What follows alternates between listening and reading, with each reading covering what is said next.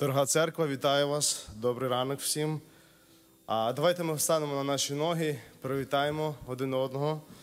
Хто біля вас є, привітайте, скажіть добрі слова. Благословіть.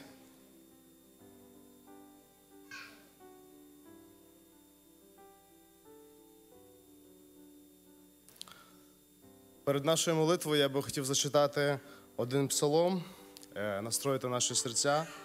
Е, І тому, хто має Біблію, будь ласка, відкрийте Псалом 19. Будемо читати з першого вірша. Псалом 19 з першого вірша. В день недолі озветься до тебе Господь, ім'я Бога Якового зробить сильним тебе. Він пошле тобі поміч із святині, і Сіону тебе підіпре. Усі жертви твої пам'ятати він буде і буде вважати твоє цілопалення ситим. Він дасть тобі, як твоє серце бажає, і виповнить цілий твій задум. Ми будемо радіти спасінням Твоїм і підіймемо прапор в ім'я Бога нашого. Нехай Господь виконає всі прохання Твої. Тепер я пізнав, що спасає Господь, помазанця свого, дає йому відповідь з неба, святого свого могутнім чинами помічної правиці своєї. Одні колесницями хваляться, а інші кіньми, а ми будемо хвалитися ім'ям Господа нашого Бога. Вони похилились і впали, а ми стоїмо та ростемо на силах. Господи, спаси, хай озветься нам цар у день нашого кликання. Амінь. Давайте помолимося. Наш добрий Господь, ми дякуємо Тобі за Твої благословіння, які Ти послав нам всім до цього часу. Дякуємо Тобі за те, що ми можемо разом зібратися в цей ранок і прославити Тебе як царя, прославити Тебе як Творця всього видимого і невидимого, Господь. Дякую тобі, Господь, за те, що ти через цей псалом нагадуєш, Господь, нам всім, щоб ми хвалилися тобою. Щоб ми не хвалилися, Господи, чимось матеріальним, чим ми достигли, знаєш, що в нас є. А щоб ми дійсно хвалилися Твоїй милості, Твоїм благословенням, які ти посилаєш кожного із нас.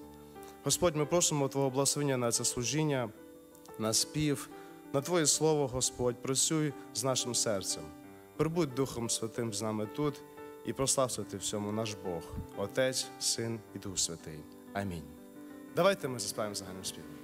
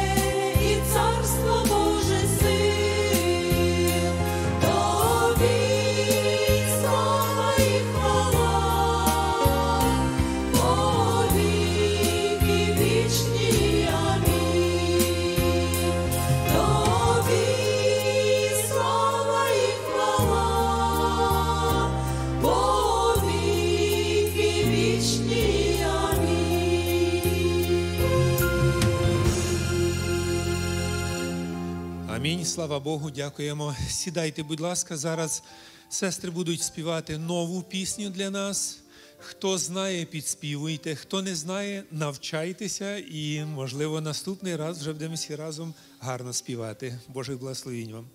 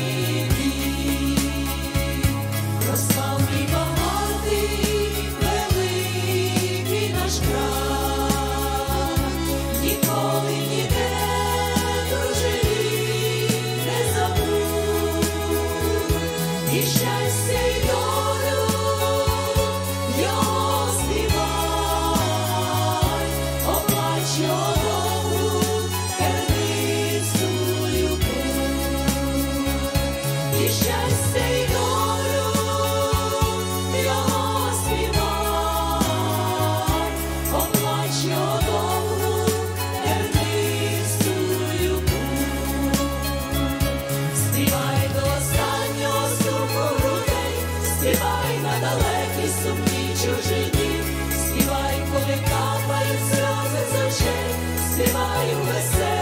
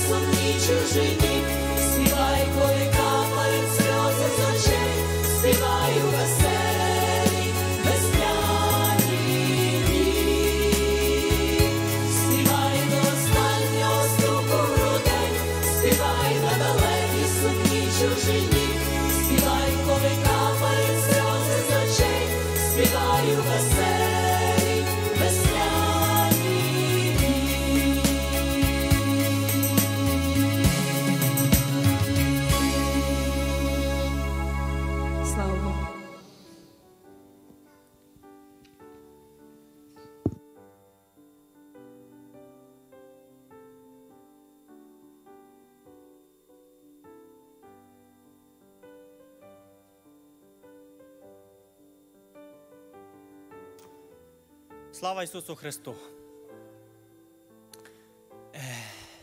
Ми сьогодні рано прийшли на це місце для того, щоб прославити нашого Бога, пороздумувати над Його Словом і прославити ці пісні. Знаєте, співайте до останнього, до останнього, коли даже смуток, коли даже плач. Так? Знаєте, коли ми читаємо Біблію, то коли апостоли сиділи в тюрмі і співали, знаєте, не якось не знаю, як то їм там співалося, знаєте, але як сестри співаєте до останнього. Я хотів би сьогоднішній ранок пороздумувати над Словом Божим, написано у 15 розділ до Матфія. Ви знаєте цю історію. Прочитаємо 21 вірш. Вийшовши звідти, Ісус відійшов у землю Тирський та Сидонський. І ось жінка одна, хананеянка, із тих околиць, прийшовши, заголосила до нього та й сказала: Змилося надо мною, Господи, сину Давидів, демон тяжку дочку мою мучить. А він їй не казав ні слова. Тоді учні його, підійшовши, благали його та казали: Відпусти її, бо кричить вслід за нами. І він відповів та й сказав: Я посланий тільки до овечок загинулих дому Ізраїлевого. І вона, підійшовши, уклонилася йому та й сказала: Господи, поможи мені. І він відповів та й сказав: Не годиться взяти хліб у дітей і кинути щенятам. А вона ж відказала: Так, Господи, але й щенята їдять ті кришки, що спадають з столу їхніх панів. Тоді відповів та й сказав їй Ісус: О жінко, твоя віра велика, нехай буде тобі, як ти хочеш. І тієї години, години дочка її видужала. Знаєте, з першого разу, коли читаємо цей відривок, цю історію, здається, тут нічого такого, знаєте, не сталося. Ісус оздоровляв три роки, скільки Він ходив по землі, скільки Він звіщав Боже Слово від хрещення Івана. Ви пам'ятаєте, коли перше Іван в'язнили Івана, Христос почав проповідувати: покайтеся і віруйте в Євангелію. На покаяння. І відтоді Христос три роки ісцеляв. Якщо ми читаємо, знаємо. Вроді тут здається, що такого? Тут прийшла жінка. Але якщо дивитися історію, знаєте, коли ми читаємо Бог по-русски, Бог противиться гордим, а смиренным дає благодать. Чому так, знаєте, так написано? Ви знаєте, коли я читав цей вір, це, цю історію, мені здалося, ну, спочатку перший раз, я перший раз багато разів слухав цю історію, але того разу, коли останній раз тут проповідав, вроді брат Славік проповідав тут про цю історію. Це було десь рік назад. Теж десь на благословенні, я пам'ятаю, що прочитав. Я роздумував над цим, і ви знаєте, здається, вроді проста історія. Жінка прийшла до Ісуса, щоб мати зцілення.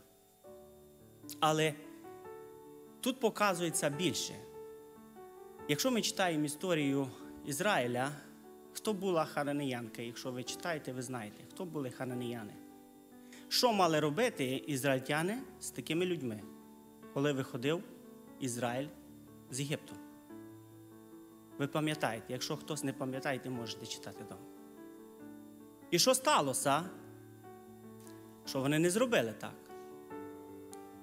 Але ця жінка дожила до цього місця, і що Бог прославився в цім. Ви знаєте, не кожен зможе так. Ви знаєте, я думаю, коли йдеш, кажеш, проповідуєш у світі, навіть кажеш братові, сестрі, щось не так зробив, щось не так сказав, чи не так живеш, каже, покайся, прийди до Господа. І знаєте, що в основному люди кажуть? Я нічого такого не робив. Що, чим я маю каятися? Я нікого не вбив, нікого не. Я не такий грішник, як тобі кажуть. От другі зробили, а я святий. Ніхто не хоче на коліна падати. І ви знаєте, тут здається, вроді жінка, що тут такого, так? Дитина була больна. Больна, скажімо так, знаєте в чим. І жінка прийшла, узяла свою волю, своє я. Їй тяжко це давалося, якщо ви знаєте, з якого, ви народ, з якого вона народу була. І хто був ізраїльтяни, хто були. Їй тяжко це дається чи ні? Як ви думаєте? Але вона переборола. І приходить і каже: Поможи мені. Ви знаєте, коли думаєш, Ісус знав її серце, для чого Він мовчить? Для кого Він мовчить? Ви думаєте, для неї мовчав Христос? Як ви думаєте? Чи для учнів? Я думаю, для учнів. Христос знав її серце. Христос знав, коли вона прийде. Але для учнів то робилося. Для учнів, для тих, хто були там рядом. Який примір подала та жінка тим людям, що вона прийшла перед Христом? Коли Христос навіть каже, що ти пес. Це в прямому значенні, якщо ми читаємо, да, не в прямому сказав, ти пес. Але поняття, якщо ми читаємо цю історію, сказав їй, ти пес. Пес прийшов до мене і просить. Ні людина, ні другий народ, а каже пес. Уявляєте собі положення, в якому вона стояла. Ви знаєте, по разу приходимо ми перед людьми, даже, чи, чи я даже кажу, а я що такого зробив? Ми з себе, знаєте, строїмо велику цацу себе, знаєте, я, ми маємо таку внутрі, знаєте, в себе, в людей. Така, знаєте, велика цаца. Що не хочемо, не дай Бог щось комусь зробити за меншим, чи услужити, чи поклонитися, чи помогти. А що я маю? Жінка ця не подивилася, що їй Бог це сказав. Вона не подивилася, що він сказав, що вона пес. І Христос каже, велика віра в тебе. Вона, бувши ханенеянкою, дивіться, Христос не прийшов явно. Читаємо перші стихи, що Він тайно прийшов, щоб ніхто не узнав. Дивіться, та жінка, тайно Христос зайшов, і вона так хотіла його бачити, і так хотіла зцілення мати своєї дитини, що вона знайшла його. Поразу ми люди, Христос коло нас. Христос помовляє кожен день через інтернет, через братів, сестер. Прийдіть, прийдіть до мене. Будьте мати зцілення. Покайтеся. І живіть. Живіть, не умріть. Не вмирайте. Але люди не хочуть цього шукати. Багато молоді шукають щось другого. Слави, грошей. Коли я був молодий, пропаганда вся така була, і зараз вона така сама є. Коли ти молодий, можеш робити, можеш мати, візде би ти не подивився. Все на те, щоб ти все мав і все ти був багатий, був цей. Але печально знаєте, що, що коли людина цього все добивається, вона нещаслива. багатьох можна примір ставити, що хто став багатшим, той щасливішим не став. Так, да, він має маєтки, він має все. Але в серці нема спокою. Якщо ми не маємо мир з Богом. Що би ми не мали? Я хотів сьогоднішній ранок роздумати, щоб ми всі роздумували над, над, своїм життям. Молодіж, ті, хто ще не прийняв Ісуса Христа, ті, хто ще, ще думають, що мають час. Я вас хочу попередити. Ви знаєте, вроді вчора був понеділок, почак, початок тижня. Сьогодні уже неділя. Учора, здається, ще був хлопцем. Сьогодні вже у мене діти. Час минає. І ми не молодшими стаєте. Молодіж, ви не молодієте. І не думайте, що ви час маєте. В основному молодіж думає, а, я ще маю час. Старші нехай цей, бо старші вони скоріше доживуть. Знаєте, поразу буває, що молодіші скоріше уходять, чим старші. Буває так. Тому я хотів би, щоб молодіж зараз роздумувала над тим, як хто живе. Коли прийде Христос, ми, ми живемо в останній час, багато хто знає це. І давайте ми будемо як ця жінка, лишимо свою гордость, лишимо все і приймемо саме дорогоцінне, щоб ми мали вічне життя, щоб ми були спасені, щоб ми були визволені від кого? Як була та дитина визволена. Щоб ми були визволилися від того, від цього світу, від гієни, але щоб були вічності з Богом, з нашим Отцем. Він є наш батько. Ми, діти, колись лишили нашого батька, пішли в далеку дорогу, як блудний син. Ходимо другим путем, але Христос чекає, благодать ще відкрита в сьогоднішній день. Він промовляє. Кожен благословенний день, сьогоднішній, поки ще Христос не прийшов, це є благодать Його. Сьогодні Він промовляє до нас, дав ще один день для того, щоб ми до Нього прийшли. Лишили все і прийшли до Нього. Хай вам у цьому і мені, і всім нам допоможе в цьому Господь.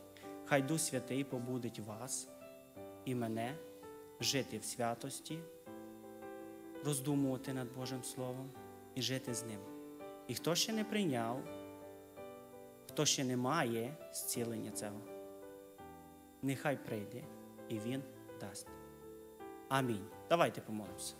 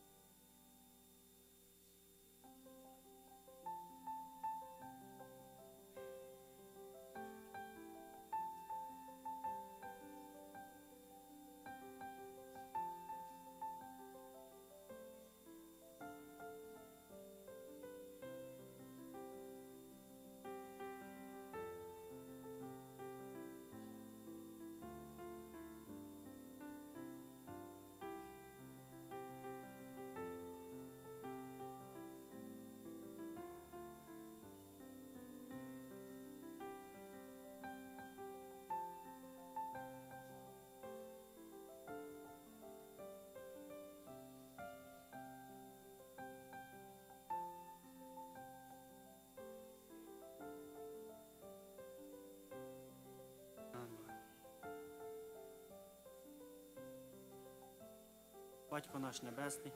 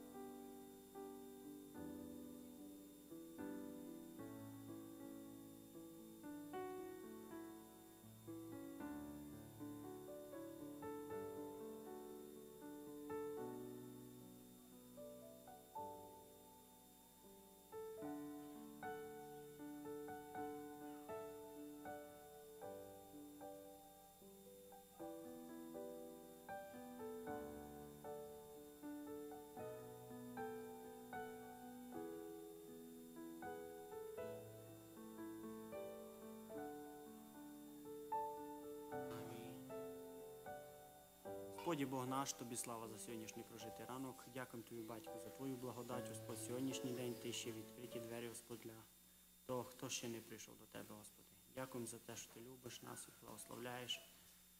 Ти нас зберігаєш для того, щоб ми мали вічне життя, Господи. Ти знаєш кожного з нас, знаєш свою церкву, Господь. Благослови кожного, Господь, хто сьогоднішній ранок просить благословення, просить зцілення, Господь.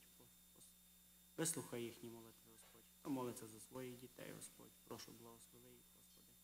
Благослови кожного, хто больний духовно, Господи, також больний тілесно, Господи.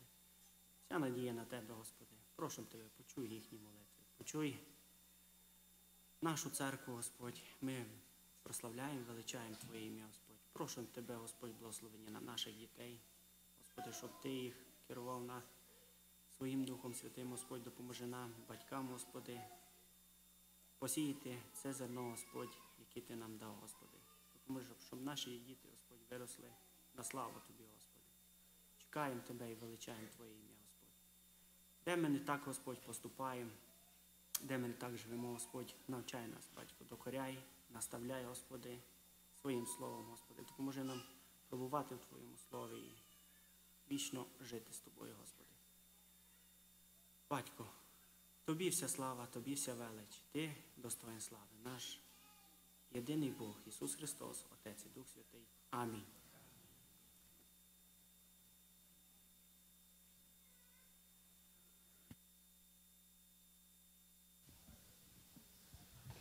Будь ласка, зараз ми вислухаємо пісню. Сестри заспівають, і під час цієї пісні попрошу братів, відповідальних за матеріальне служіння, підготовитися до матеріального служіння.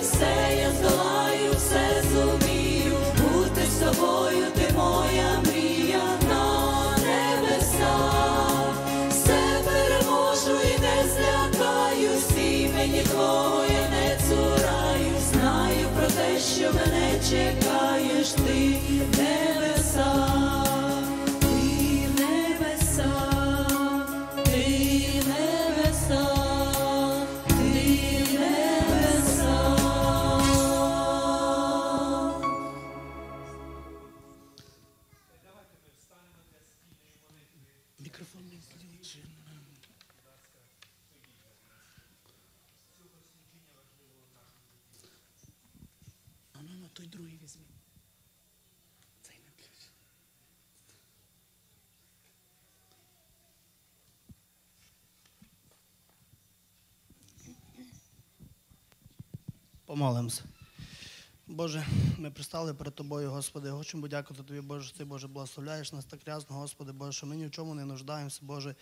Допоможи, Боже, щоб ми могли жертвувати від серця на діло Твоє, Господи, Боже. Дякуємо Тобі, що нас благословляєш у роботі, Господи, Боже. Будь прославний, Боже, за все, як ти, Син, Слідух. Амінь.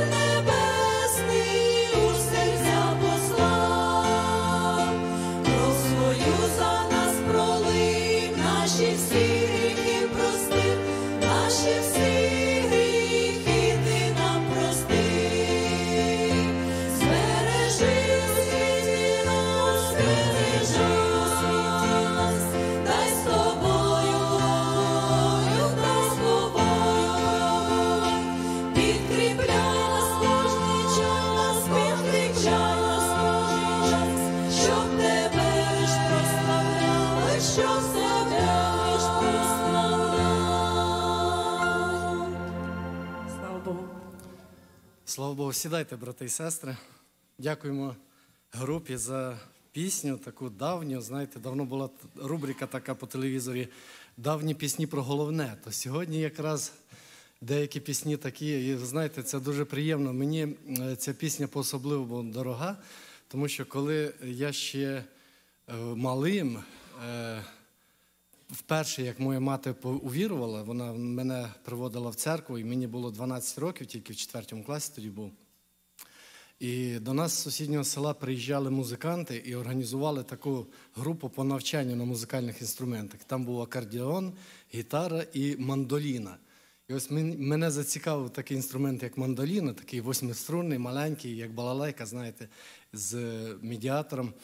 І саме це перша пісня була, яка я вчив на мандоліні грати. Я не впевнений, чи зміг би я зараз її зіграти, але це дуже мені зараз надихнуло на нагадування тих часів, колись благословених. Так що дякую, друзі, за хорошу пісню. Вітаю, дорога церква, слава Богу, за день сьогоднішній. Перед тим як я зачитаю Слово Боже і черговий відрізок, який ми будемо сьогодні, е, над яким ми будемо роздумувати. Коротенько, буквально дві хвилини, хочу розказати про е, наші переживання емоційні і радісні, які ми мали на цій неділі. Е, багато з вас знають, що ми їздили відвідати одну стареньку сім'ю. Вони друзі нашої сім'ї вже більше 20 років з тих пір, як ми одружилися. Вони е, це американці. е, Група американців приїжджала в Росію, і е, моя дружина якраз в тій церкві, де вони приїжджали, вона була там. Так вони познайомилися. І так вони постійно, це подружжя, вони тримали контакт з нами. І якщо пам'ятаєте, 5 років тому в старому приміщенні ще такий високий дідусь проповідував у нас в церкві, Влад Каушнян його ще перекладав. Можливо, хтось пам'ятає. То е, йому 86 років вже. І от 5 років назад він нас відвідав, і тоді ми йому пообіцяли, що обов'язково е, буде можливість, ми відвідаємо їх також. Це в штаті Міннесота. І ось на цій неділі ми якраз з'їздили з дружиною, з двома дітками нашими найменшими. І це була чудова поїздка. Вони пораділи, ми пораділи разом, молилися, згадували е, старі часи, переживали дуже е, цікаві такі моменти, коли е, згадуєш, як по-особливому тебе Господь колись благословляв, а ти цього і не бачив, можливо. А потім, коли дивився назад, а воно виявля- виявлялося, це був Божий план, це було Боже бажання, Божа воля. І дуже приємно було бачити себе, саме е, не, не просто я про себе говорю, але і про всіх нас, що е, в цій Божій волі, в рамках цієї Божої волі ми знаходилися весь час, і Бог ніколи не залишав нас. Слава Богу. Ви знаєте, е, чудові пейзажі ми побачили. Ви знаєте, я, я в душі, певно, десь тракіст, бо мені так подобається їхати по наших американських дорогах. Дуже гарно. Е, Ми відвідали на зворотньому шляху, дякуючи Павлу Броніславовичу, він е, порадив нам е, Рашмор гору відвідати. Можливо, ви знаєте, були да, там. І це на скала величезна, де ще вже понад 60 років назад, а саме з 27 по 41 рік, 12 14 років, будувався барельєф, такий висікалися в скалі обличчя чотирьох президентів. Це Вашингтона, Рузвельта, е, Джеферсона і Лінкольна. І ось ми сфотографувалися на фоні цих, цієї гори, було дуже гарно. Тому дуже вдячний тим, хто молився. І зараз на таких почуттях високих ми приїхали, хотів сказати, прилетіли. Приї- Ну, хоча дорога така була, що можна було і літати. І Бог зберіг нас і дуже дякую тим, хто молився. Добре, а зараз переступимо до е, Слова Божого. Е, Ми знову продовжимо сьогодні вивчати е, послання апостола Івана з перший розділ. Сьогодні у нас останні три вірші. І коротенький просто огляд того, що ми вже говорили. Ми казали, що це Іван, апостол, він улюблений учень Ісуса Христа, єдиний, який залишився в живих, який не був страчений. Всі решта апостолів вони е, були катовані за Слово Боже. І ось, будучи вже в преклонному віці, він написав як четверті Євангелії свої, так і три коротенькі соборні послання до церков. І в ті часи він переслідував одну ціль, щоб ствердити віру християн. І він про це навіть і написав, ми згадуємо постійно цей вірш, що це я написав вам для того, щоб ви, віруючи в Сина Божого, знали, що маєте життя вічне. Ось яку ціль переслідував апостол Іван. Чи досягнув він цілі стосовно кожного з нас тут присутніх? Це вирішувати нам сьогодні зараз. Чи ця ціль досягнена? Для багатьох, для тисячі, мільйонів християн на протязі цих 20, 20 віків ця ціль була досягнута. І дійсно справдилася і, ствердилася віра у учнів, читаючи це послання, і наверталися ті, які схиблювали з стежки правдивої, і каялися ті, які не були на цій стежці. Тому що це живе діяльне слово. І хотілося, щоб воно працювало в кожному з нас також. Апостол Іван він був рибалкою, простим був учнем, е, простим, простою людиною. Він е, рибачив і на березі Гернісарецького озера, коли з своїм братом, старшим Яковом, їх покликав Спаситель. Вони покинули все і пішли. І Христос здійснив те, що Він їм обіцяв. А Він їм сказав саме: ідіть за мною, і я вас зроблю ловцями людей. Залиште е, рибалку і йдіть за мною. Зараз у вас буде інша місія. І це саме він робить якраз. Все життя своє він е, служив Богу, він терпів за Слово Боже, він був засланий. І написав, що ці послання це його якраз методи ось цієї духовної рибалки, коли він продовжує бути ловцем людей, ловцем душ людських. І в цьому немає щось негативного, що він ловить людей. Це спасіння в цьому демонструється, тому що саме будучи пійманим на оцей риболовний духовний крючок Божого Слова, людина отримує звільнення. А без цього звільнення вона на шляху до загибелі. І ми говорили про те, що апостол Іван, будучи в молодому віці, був дуже войовничий. Його навіть в ОНРГЕС дав е, таке прізвище, прізвисько Ісус їм, йому і брату його, як переводиться з арамейського синов'я Громові, сини Грома. І це було не безпідставно. Вони справді вони хотіли вогонь з неба звести. Вони багато в чому е, були такі дуже радикальні. Але перетворився цей апостол на апостола любві. Ісус сказав йому: ви не знаєте, якого ви духа. Син людський прийшов спасати людей, а не нищити. І ось саме цією діяльністю зайнявся апостол Іван. І ми знаємо, що основна ціль стверджувати церкву була ще й поставлена ним саме по тій причині, що в ті часи, вже в кінці першого сторіччя, гностичні єретичні вчення проникали в церкву. Гностики вони говорили про те, що Ісус не може бути Богом. Ісус Він був тільки пророком, тільки людиною. Це одна сторона. Інша сторона говорила, що Ісус не був людиною. Він був Богом, але людиною він не був ніколи. Чому вони так казали, ми з вами акцентували багато разів. Тому що вони вірили, що все, що матеріальне, все, до чого можна торкнутися, все, що можна осягнути, воно пропітане злом, воно е, відлучає, випромінює собою зло. А Бог він святий, праведний, він не може з'єднатися із матеріальним і стати таким матеріалізуватися. Бог не може, вони так говорили. Тому вони казали, Ісус не був Богом або не був людиною. І вони казали, якщо він і казався для багатьох людей, що він в людському тілі, то це їм тільки так здавалося. Це все було ілюзорно. І в чому небезпека була цього вчення? В тому, що на нівець ставилося все християнство. Якщо ілюзорно було тіло Ісуса Христа, то ілюзорне було Його народження, ілюзорним було, були Його чудеса всі. І найголовніше, ілюзорною була Його смерть тоді. А, а, а тоді, значить, і спасіння не було виконано, тому що повинен був вмерти сам Господь Бог на Христі ради того, щоб спасти всіх людей. І тому апостол Іван він стверджує вірі. Ми говорили багато вже про те, що він починає про слово життя, про Ісуса. Він каже, що це слово втілилося, і воно було фізично, матеріальним, але без гріха, тому що воно було світлом. Він називає його Бог є світлом, і в ньому нема жодної темряви. І закликаючи всю церкву тодішню і нас сьогодні, він закликав мати спільність з ним. Тому що якщо тільки людина не має спільності, вона не вступила в взаємовідносини з Сином Божим і з джерелом цього світла небесного, то така людина вона знаходиться в темряві, вона сліпа. І в темряві, знаходячись, вона йде в погибель.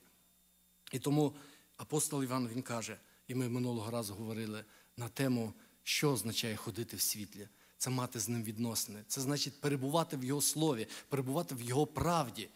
І тоді, тоді тільки ми маємо можливість е, мати ось це джерело очищення, джерело, яке е, збавляє нас від відповідальності за, за, те, за ту гріховну природу, в якій ми, на жаль, ще знаходимося, тому що він взяв на себе гріхи всіх нас.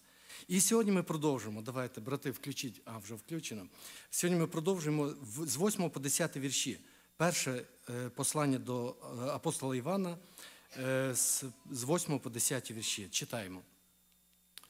Коли ж кажемо, що немає гріха, не маємо гріха, то самі себе обманюємо, і немає правди в нас.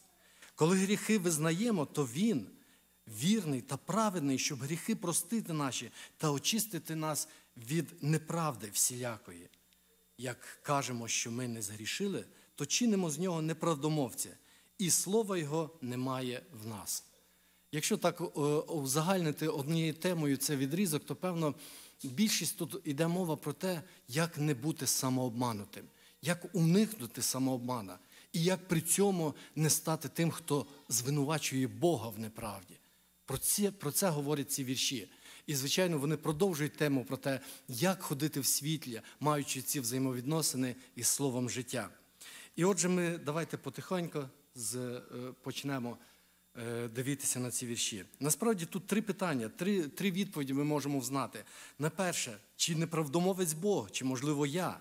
В чому вірність та праведність Бога? Саме акцент робить Іван і на цьому, підкреслюючи, що Бог ніколи не може схибнути із істини. Він постійно е, істина, і він вірний та праведний при любих обставинах, навіть коли він карає гріх. І третє, що, що означає визнавати гріх свій? Він каже, що коли ми визнаємо, то Бог, будучи праведний і вірний, Він прощає нам. А яким чином це робити? Давайте ми попробуємо ці відповіді знайти в цих місцях. Отже, дивіться, 8 і 10 вірш вони дуже схожі між собою. Хто любить Слово Боже і ретельно його вивчає, певно, замітили це давно. Да? Подивіться, 8 і 10 вірш. Практично вони говорять про одне. Коли ж кажемо, що не маємо гріха, то себе обманюємо і немає в нас правди. І десятий вірш. А як кажемо, що ми не згрішили, то чинимо з нього неправдомовця, і слова його немає в нас. Тільки деякі нюанси доповнюються, правда? По-перше, дивіться, не маємо гріха в восьмому вірші. е, Замінюється ми не згрішили. Про що йде мова?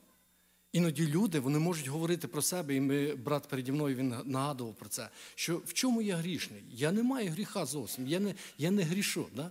Я, я, я не грішний по природі своїй. І люди таким чином вони обманюються.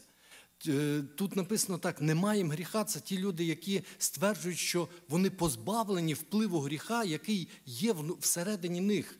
А вони кажуть, цього немає.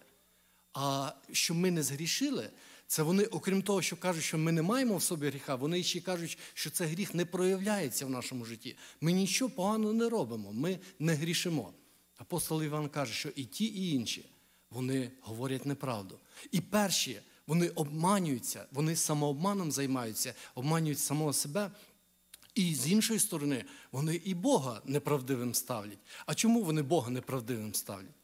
Тому що Бог називає всіх людей грішниками. А якщо людина каже, що я не грішна, я не маю ні в собі гріха і не згрішаю в своєму практичному житті, то таким чином вона ставить Бога, як ніби він обманює, ніби Бог говорить неправду. Це так само, як апостол Павло колись до коринтян писав, і цілий розділ 15 в першому листі він посвятив, е, е, опровергаючи е, те, що дехто не вірив в те, що Христос Воскрес. І він каже: якщо Христос не воскрес, то ті, котрі кажуть, що Він воскрес, вони ставлять Бога в ніби Він неправду говорить, тому що Він каже, що Він воскрес. Він воскресив Сина свого Ісуса Христа. А хто говорить і не вірить це, він ставить, ніби Бог обманює. Це ж саме і тут мається на увазі. Якщо ми кажемо, що ми не згрішили, якщо ми кажемо, що гріховної природи в нас немає, вона не має впливу жодного на нас, то тоді ми і себе обманюємо, і Бога ставимо неправдомовцем. І тому тут ці слова вони взаємозаміняємі. Дивіться, те себе обманюємо і Бога ставимо неправдомовцем. Але ж що означає, чому, чому Бог все-таки правий завжди в своєму діагнозі, який він ставить для людей? А він сказав колись, і ми, ми знаємо прекрасно цей вірш Римлянам 3:23, всі згрішили, всі позбавлені слави Божої. Всі абсолютно. Тобто немає винятків зовсім ніяких. Абсолютно на протязі всієї історії, ось скільки там біля там, 8 тисяч е, людство живе да, на цій землі, не було жодної людини, окрім Ісуса Христа, Не було жодної із земних людей е, того, хто би сказав, що він без гріха, що він позбавлений цього гріха. В нього е, всі згрішили. Е, Еклезіаст цю саму думку він виразив в словах, що немає жодної людини на землі, яка творила би добро і ніколи не грішила. Таких людей немає. Тому, відповідаючи на питання, хто є Бог, він є правдивий, він є вірний, і він правильний ставить завжди діагноз Я неправдомовець, і я сам себе обманюю, якщо я говорю, що я не маю, що гріха в мені немає, і я не грішу зовсім. Але як тут ж бути тоді? Ви знаєте, хтось, можливо, читав це послання наперед і пам'ятає, що вже в кінці цього послання апостол Іван скаже таку фразу, що той, хто народжений від Бога, він не грішить. Чи є якесь протиріччя між цими двома, двома е, фразами? Протиріччя, звичайно, вже немає. Мова йде не про те, що ми не загрішаємо. Цей же самий апостол вже в другому розділі, на початку самого, він скаже так: ми всі багато згрішаємо. Але коли хтось її згрішить, то ми маємо ходатає перед е, Богом, перед Творцем нашим. Він є умилостивлення за наші гріхи. Так він називає Ісуса Христа. І тому той, хто народжений від Нього, він має позбавлення від впливу гріха на себе. А це не означає, що він не грішить зовсім. Тому то мається на увазі, коли е, апостол Іван пізніше каже, що він не грішить, мається на увазі, він несознательно не робить гріх, не живе в грісі. Така людина, вона, якщо і сорішає, вона, вона бачить це і спішить до Бога з покаянням, щоб вирішити цю проблему. І Бог її чує, і Він її спасає. Тому що він є вірний та праведний. В чому вірність та праведність Бога? Дивіться, можна сказати так: Бог вірний та праведний, тому що Він обіцяв простити, коли ти каєшся, правда? Це буде правильна відповідь.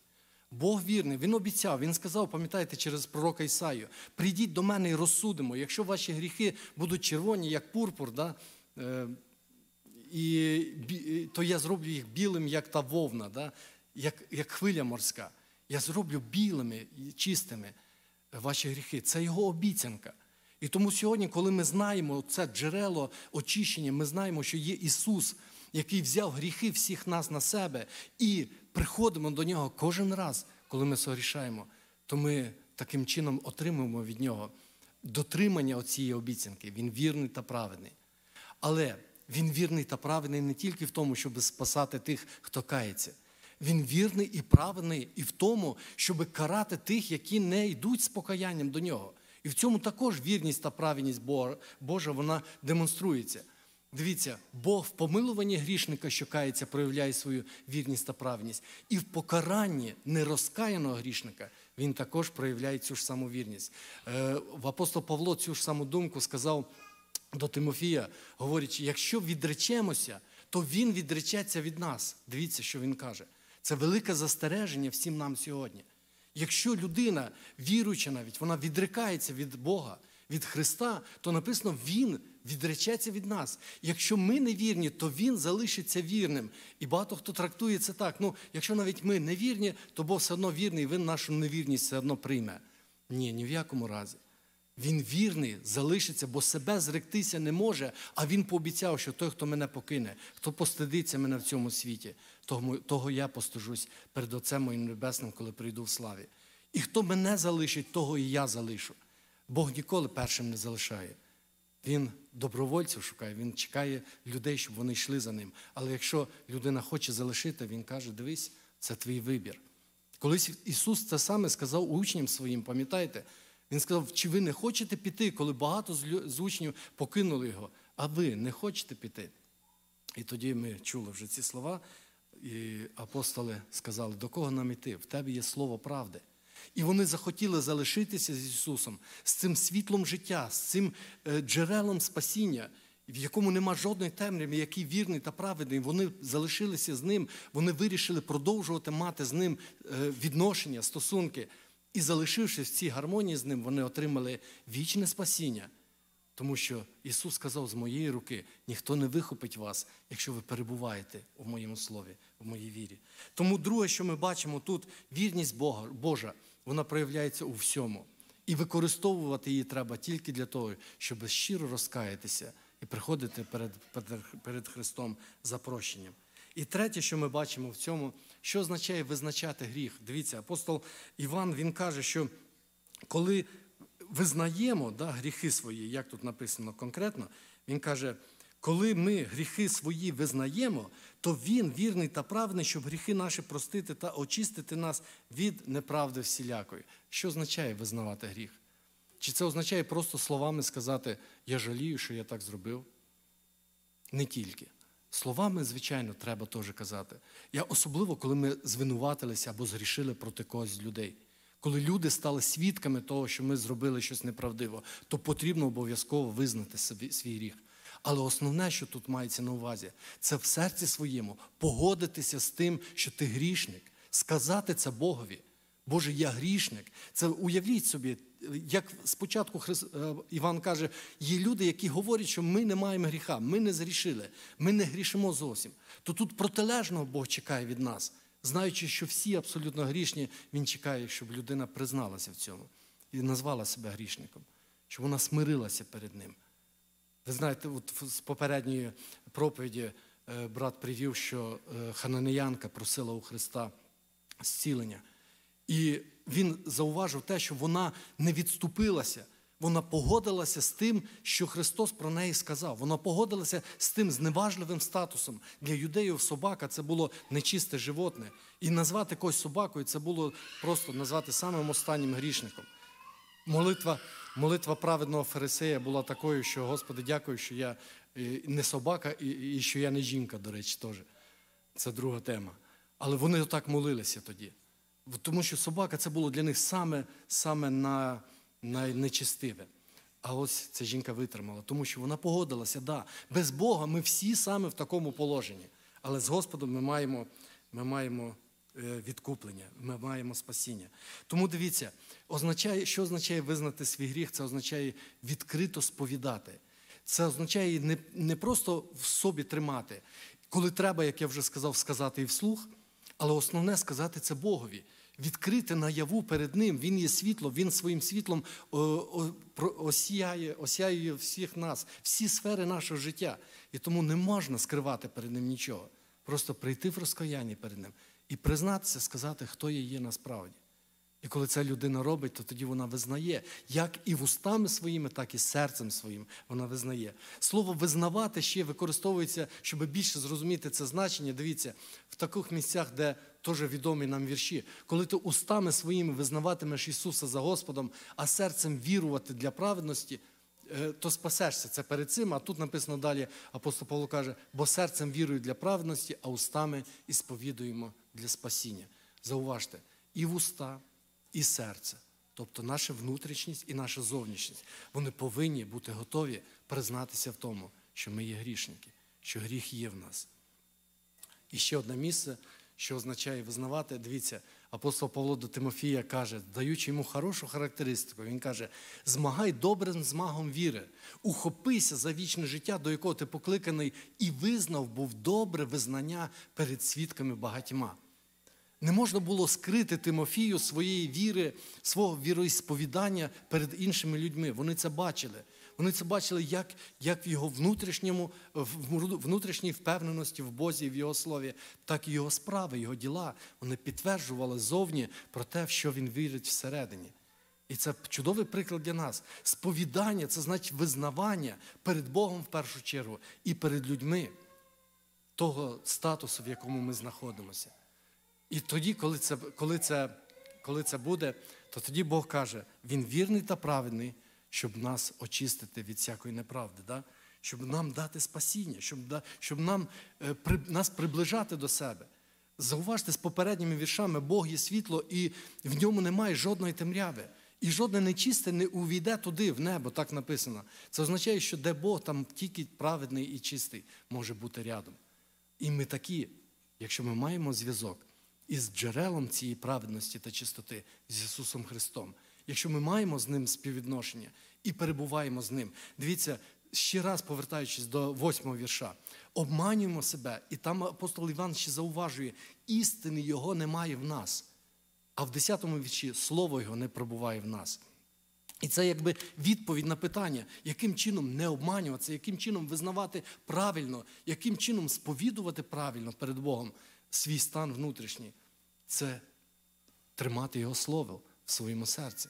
це впітувати його в себе, вбирати в себе, знаєте, як губка, коли відкриваєш писання, коли любиш це писання, досліджуєш його, бачиш в ньому не просто букви на бумазі, а бачиш в ньому живе, діяльне слово Бога, Творця Небесного. І ти читаєш і слухаєш, що Бог тобі каже. І вбираючи, ти тримаєш. І- Ісус колись сказав до своїх апостолів, що ви вже чисті через Слово, яке я вам проповідував. Ось чистота звідки береться. Із відношень з Ісусом через прийняття і збереження Його Слова в нашому серці. Хай благословить нас Господь, брати і сестри, щоб ми були такими, щоб ми справді розуміли, хто є Бог, з яким ми маємо відношення, що Він є світло, Він є спасіння, Він є слово життя. І любити його це значить приймати його слово. Ми зараз до Колосян проходимо по середам. І там апостол Павло дуже чудово наголошує: Слово Боже, хай вселяється у вас обільно. Тобто, хай переповнює вас Слово Боже. Задамо собі питання, як воно нас переповнює? Чи любимо ми його? І покаємося, якщо це не так. Сьогодні є час на це. І Богу хай буде слава. Отже, як уникнути? Як уникнути е, нам самообману і не стати тими схожими? Тому що мова йде не тільки про невіруючих, які можуть казати, що у нас немає гріха. Мова може йти і про віруючих, які можуть в своїх очах досягти такого ступеня святості в кавичках, що казати, що я вже все також. Гріх і я це зовсім різні речі. Вони не мають, я нічого не маю з ним, він зі мною. Але як уникнути такого стану? По-перше, це прийняти слово та перебувати в нім. Друге це визнати наявність гріха в собі, сповідати перед ним. З Богом не можна сперечатися. Як тільки людина починає себе виправдовувати, вона себе е, просто приречує на, на засудження. Тому що Бог каже: Я знаю тебе прекрасно, я знаю твоє серце, твій розум. Не сперечайся зі мною. Просто прийми те, що я діагностую. Правильно поставлений діагноз і прийняття цього діагнозу гарантує тобі звільнення і виліковування твоєї душі. Визнати наявність гріха, прийняти Слово Боже, перебувати в нім і пам'ятати про Божу вірність, уповати на неї, надіятися і вірити, що Він, будучи вірним і праведним, завжди буде з нами, підтримуючи нас і очищаючи нас від всякої неправди. Хай благословить всіх нас, Господь цьому. Давайте про це і помолимося. Йому хай буде слава. Амінь. Помолимося.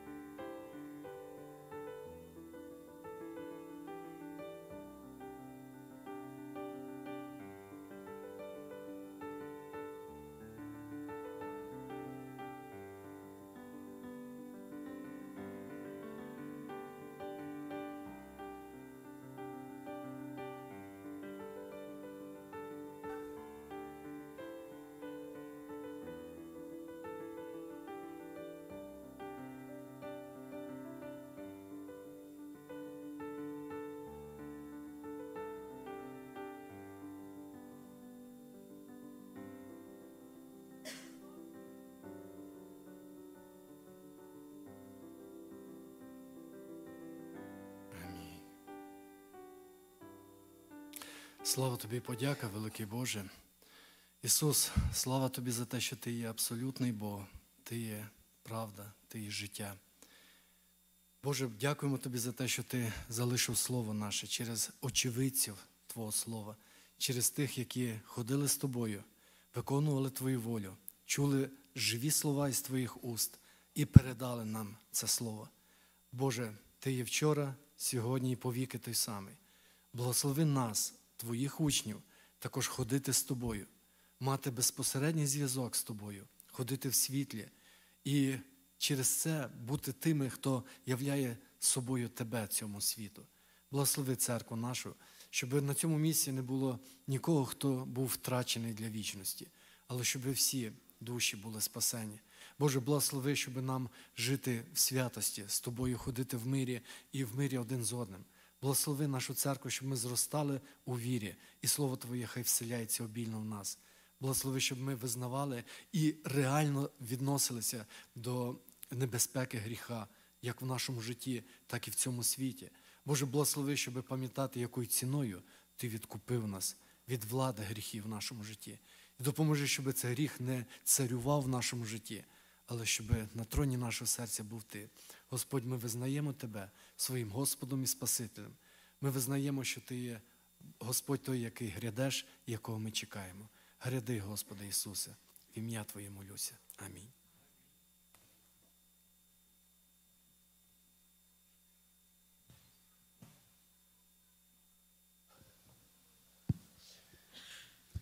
Зараз ми будемо співати загальну пісню. Під час загальної пісні я попрошу сім'ю Шевченко, щоб пройшли для благословіння дитини. Давайте ми встанемо для загальної пісні.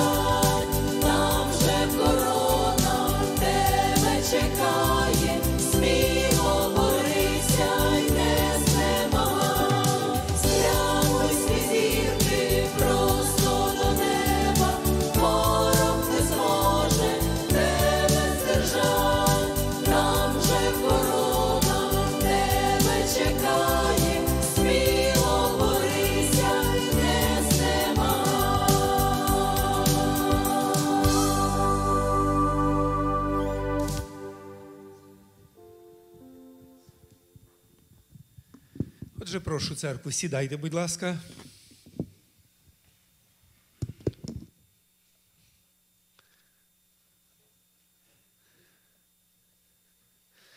Перед нами християнська сім'я. Євген, Лена, дітки їхні. І ось вони принесли до благословіння меншого свого сина Давида. Ми, євангельські християни, дотримуємося євангельського слова і принципів Ісуса Христа. Колись приносили дітей до Ісуса Христа, щоб Він доторкнувся і благословив. Знаєте, я е, сьогодні особливо дивився, як сім'ї приходять в церкву. І мені було приємно дивитися, як приводять діточок своїх. Стараються так гарно одягнути їх святково, щоб вони прийшли. І це запам'ятовується на все життя. Ми пам'ятаємо, як дітьми ми приходили в церкву. І в той період, коли до Ісуса Христа приносили, приводили дітей, там написано немовлят, старших діток приносили, і вони заважали. Я сидів і чую щось, ну, крім проповіді, іде якась паралельно розмова. Коли я подивився, дивлюся, там вже брати і сестри трошки діточок зупиняють. Вони були тоді такими, і вони залишилися і цього разу такими. Але добре, що вони з нами. Отже, ви зробили важливий крок віри. Ми читаємо Слово Господнє, Псалом 127. Діти є Господньою спадщиною, винагородою плоду лона. Що стріли в руці воїна, то діти в молодому віці. Щаслива людина, яка наповнила ними свій сагайдак. Це е, сагайдак шкіряна сумка. Просто щоб ми пам'ятали. Такі не осоромляться, коли сперечатимуться зі своїми ворогами при, браві, при брамі. Е, Я коли зустрів ось цю сім'ю, вони прийшли і е, ну, запитав, як ви відчуваєте, як гарно. І син Давид менший, а е, Женя каже, що в нього є ще друге ім'я Самуїл. Ну, я розпитую, а Йосип каже: ні, ні, це Давид. А якщо буде наступний, то буде Самуїл. І ось текст із Писання якраз і говорить, що це благословіння, коли ось е, ці і Давиди, і Самуїли, і Йосипи приходять в сім'ї. Це велике благословіння, і ми е, віримо Слову Господньому, тому що е, так як Слово Боже вчить і говорить, це радість, е, найрадісніша подія, яка чекає кожне подружжя, це коли родяться діти.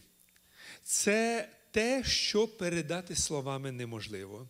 З ними важко. Вони не дають спати, вони інший раз шумні, але це радість. Особливо молоді батьки. І ви, і всі, я хочу вам сказати, це короткий період, але це радісний період, коли вони з нами. І е, знаєте, чому вони інший раз ведуть себе так неслухняно? Вони потребують уваги. Я завжди кажу, ті діти, які ось тут сидять е, і не зовсім гарно сидять, це показник того, що батьки вдома не звертають уваги на них. Бачу, ваші дітки смиренно, тихо стоять. Це говорить про те, що ви звертаєте увагу на них. Благословіння вам Божого. Одне е, із визначень спадщина, які ось ми прочитали текст, спадщина, це доречне в даному випадку, я так прочитав, це об'єкти, які мають видатну універсальну цінність з погляду збереження природної краси та естетики. Подивіться, подумати тільки, діти це наша спадщина, це ось ця універсальна цінність, це природна краса і це надзвичайна естетика. Дійсно, ті, хто мають дітей, вони скажуть амінь, що ці слова так. І сприймайте їх тільки як винагорода від самого Господа. Дивись, як він уважно слухає і дивиться на тебе, чи ти з ним все, ми все разом тут. Отже, читаючи Слово Боже. Я згадаю один вірш із Євангелія Луки, 18 розділ, 16 вірш. А Ісус покликав їх та й каже: Пустіть дітей, хай приходять до мене, не забороняйте їм, бо таких є Царство Боже. Робіть усе можливе з вашої сторони, щоб вести, нести своїх дітей до Господа. Поводьтеся так, щоб діти відчували себе затишно у вашій сім'ї. Навіть якщо виникають якісь непорозуміння, вирішуйте так, щоб вони не чули. І це буде добре для їхнього виховання. Пройде час, а він проходить швидко. Але ось ті основи правди, основи віри, які ви закладете їм в дитинстві, е, допоможуть їм будувати в майбутньому своє особисте життя. Тільки ось та платформа, ось тільки ота основа Слова Божого, яка закладена в дитинстві, вона допомагає людям бути стійкими, допомагає їм жити життям, яке приносить і суспільству користь, благословіння церкві, де вони знаходяться, і радість самим людям. Ви робите євангельські кроки сьогодні, приводячи, приносячи своїх дітей до Господа, щоб Він доторкнувся і благословив їх. Наша молитва буде якраз сьогодні, щоб Господь благословив ваших дітей. Так нас навчає Слово Боже, так навчає нас святе Писання, і ми виконуємо постанови Божі. Я виконую те, що Господь доручив мені. Сім'я Шевченко виконує те, що Господь їм доручив. І Бог завжди вірний у своєму слові, і його дотик приносить благословіння.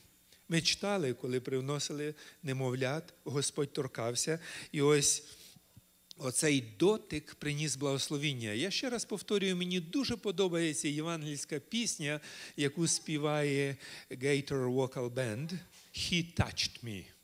Він доторкнувся до мене. He touched me. Він торкнувся мене, і о радість наповнила мою душу. Що сталося? І тепер я знаю, Христос торкнувся мене і зробив мене цілісним, тим, який має внутрішній баланс, повну гармонію.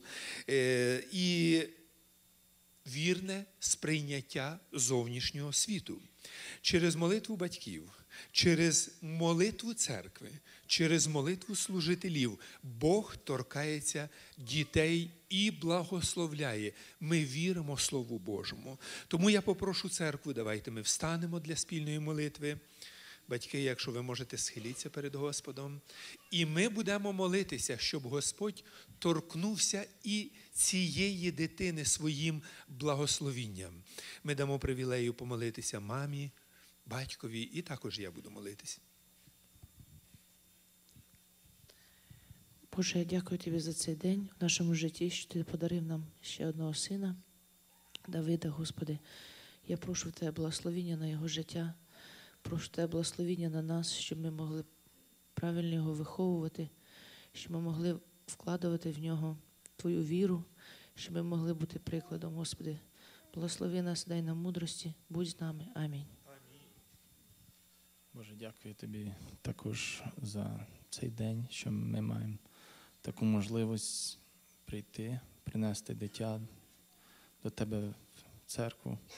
Ти можеш благословити нас, благослови, Господи, в нашому житті, поможи нам довести такого ж чистого до самого неба, Боже. Дай на це мудрості, сили. Покажи нам мирну дорогу на небо, Господи. Дай нам правильно жити, правильно робити виводи в нашому житті. Також благослови нашу церкву, кожного в нашій церкві, всіх діток. Наша церква щира, багато мають діток, Господи, благослови кожного. Поможи, щоб ми могли щось зробити всі разом тут. Амінь.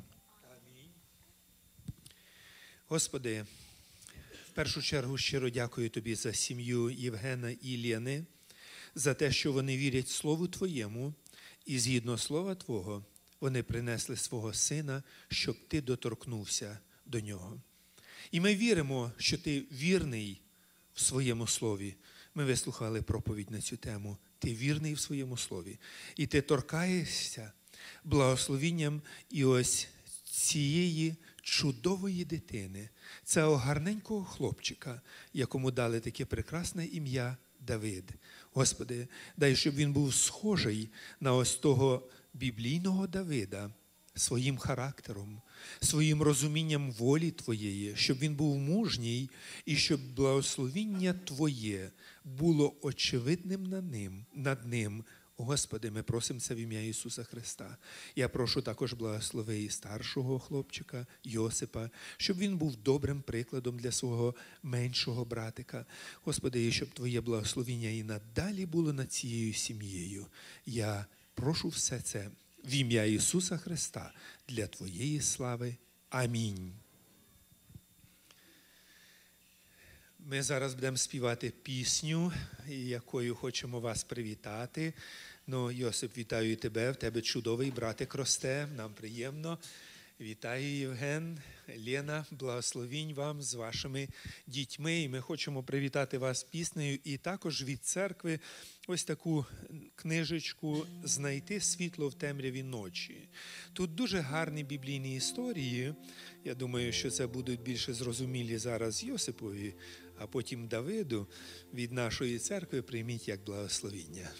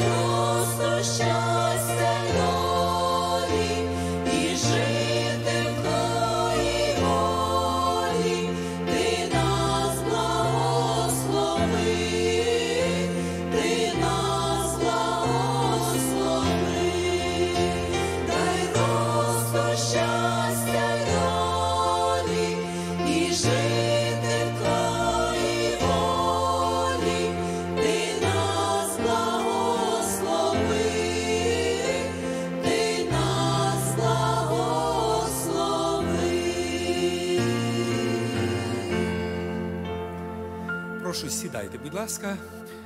Наше ранкове богослужіння підійшло до закінчення. Будьте уважні до об'яв. Сьогодні у нас буде вечірнє богослужіння в приміщенні церкви з 6 години. Хочу е, зауважити, що у нас є зараз досить гарне місце це природа. Ми будемо мати тільки одну першу годину в приміщенні церкви, а потім будемо мати спільність на природі. Там готується дитяча площадка. Я не знаю, брати, вже готова вона чи ще в процесі? Де брати там, які казали, що там є дитяча площадка. Я просто не звернув уваги, чи поставили вже чи ні. Але якщо ще не поставили, то будемо звикати. Знати, що там вона буде для дітей.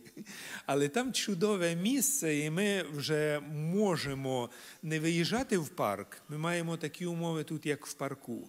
Молоді, якщо ви хочете, ви можете поста- поставити там вже сітку в- для волейболу і в другу частину богослужіння, коли ми будемо спілкуватись там на природі, ви можете там разом бути з нами. Отже, ще раз повторюю, вечірнє богослужіння у нас сьогодні буде з 6 години в приміщенні церкви. Одну годину, а друга година будемо на природі. Також у нас на вечірньому богослужінні буде Михайло Черенков з своєю сім'єю. Вони будуть приймати участь в цьому служінні. Також е, наступну суботу, нагадую, буде шлюб Ілля і Женя. Ті, хто запрошені, візьміться до уваги. Наступна субота, 1 серпня, ми плануємо мати хрещення в нашій церкві з 10 години, ранкове богослужіння, на якому буде хрещення. І також брати запропонували, щоб нам мати спільний обід після закінчення богослужіння і хрещення. Так що сестри, які задіяні в цьому служінні, візьміться до уваги. Я думаю, що нам потрібно і ось ці питання організаційні також вирішити. Е, Сестра Віра Никифорець хотіла сказати одну таку об'яву. Якщо можеш, будь ласка, скажи.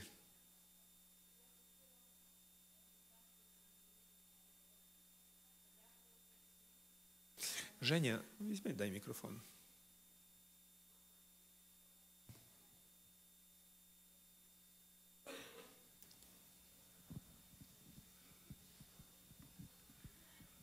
Я хотіла від нашої сім'ї, від молодих.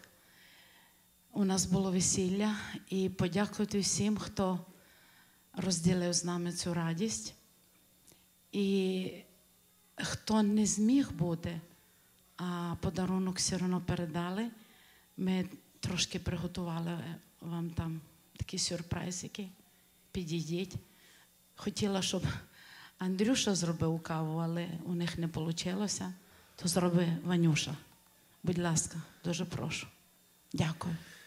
Дякуємо вам, дякуємо вам за вашу щирість. І, будь ласка, зверніть увагу і на цю об'яву.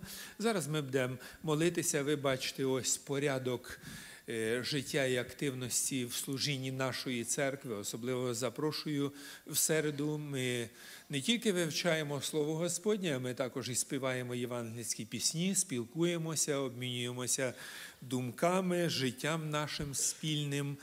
Так що запрошуємо середа на 7 годин вечора. Ви бачите також і домашні групи. Якщо ви ще не визначилися, будь ласка, ви можете підійти до мене або до когось служителів, і ми допоможемо вам визначитися, щоб ви були активними членами місцевої церкви. Е, Минулий тиждень ми молилися за дітей Никифорець Васі і Олі. Е, Цей Тиждень ми будемо молитися за дітей Георгія і Олі Никифорець. Це Віталій, Рома, Андрій, Максим і Софія. Ще раз повторюю: ведіть своїх дітей в церкву, приводьте до Господа. Це досить важливо, це досить гарно. І ми маємо в цьому Боже благословіння. Ми бачимо, що як ми перед Господом говоримо про наших дітей. Господь вірний в своєму слові і Він дає відповідь. Тому я прошу, давайте ми встанемо зараз. Ми помолимося і подякуємо Господа за те, що і в цьому служінні Він благословляв нас своїм словом. Помолимося. Отче наш, ми вклоняємося Тобі і щиро дякуємо, що Ти піклуєшся про нас. Твоє слово в дії, Ти не мовчиш сьогодні, Ти говориш до людей і Ти говориш до нас. І нам приємно, що Твоя любов продовжується, і ти продовжуєш спасати людей. Ми дякуємо, Господи, що і в нашій церкві є спасенні люди, які готуються, щоб і виконати Твою волю в хрещенні, засвідкувати про своє спасіння. Благослови, Господи, той день, щоб він був радістю для церкви і особливо для родин тих, хто буде приймати хрещення. Ми дякуємо, Господи, за дітей, які є в нашій церкві. Інший раз і вони не завжди розуміють, як себе поводити, але Ти благословляєш їх і Ти вирівнюєш їхнє життя. Ми молимося про них. Ми молимося про наші сім'ї. І сьогодні ми також молимося про е, сім'ю Георгія і Олі, про їхніх дітей. Господи, Ти знаєш серце кожного із них. І ми просимо, щоб ці діти е, підкорялися істині Твоїй, щоб вони любили Тебе. Благослови, Господи, їх в цьому. Ми молимося за нашу молодь завжди. Дякуємо, що молодь є серед нас. І дякуємо, що Твоє благословіння в їхньому житті очевидно. Благослови, Господи, і храни їх, щоб вони були мужніми в житті своєму, і особливо в хождінні в Твоєму слові. Ми молимося за нашу церкву і за старших людей і дякуємо, що Ти даєш нам привілею жити в мирний час. Дай, щоб кожен із нас завжди пам'ятав своє покликання, і ми були свідками Твоїми для людей, які оточують нас. Ми згадуємо в молитві своїй і нашу батьківщину, Україну особливо народ твій, церкви твої, братів і сестер, які служать тобі, які свідкують нашому народу Слово Твоє, істини Твої. Ми щиро поклоняємося Тобі, Господи, що Ти любиш нас і за це богослужіння, і за цю спільність. Щиро вклоняємося Тобі. Хай Твоє ім'я завжди буде благословенне в нашому житті, ім'я Бога Отця, Сина і Святого Духа. Амінь. Вітайте один одного, і наше ранкове богослужіння закінчено.